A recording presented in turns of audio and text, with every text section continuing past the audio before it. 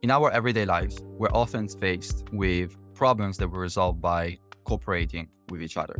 Cooperation is the hallmark of the human species, and understanding the drivers of that is a key question that is faced in economics as well as in many other social and biological sciences. What we do in this research project is examine some of the drivers that lead us to cooperate.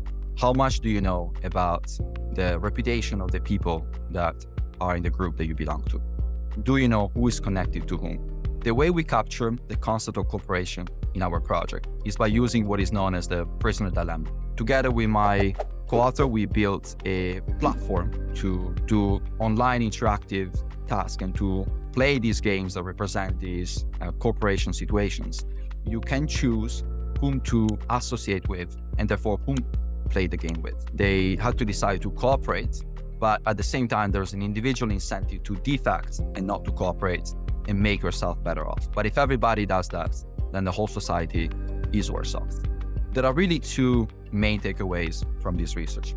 The first one is that reputational knowledge is fundamental to sustain cooperation. If you have reputation information about everybody, then the reputation is much higher than if you only have information that is local. The second key result is that social knowledge also matters, but in a different way. If I can see a picture of all the connections of the different people in the group, then from that picture, I can figure out where the cooperators are located. And then I can break the links and form the links to make sure that I get into a cluster of cooperators and essentially exclude the defectors from the network. The distribution of cooperativity is very important. Sometimes, in some circumstances, you want a very uh, closely connected community that cooperates and maybe creates something like Wikipedia.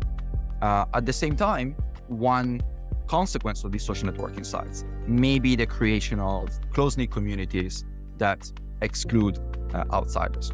Knowing more about the social environment that we inhabit has an impact on our behavior uh, in everyday life.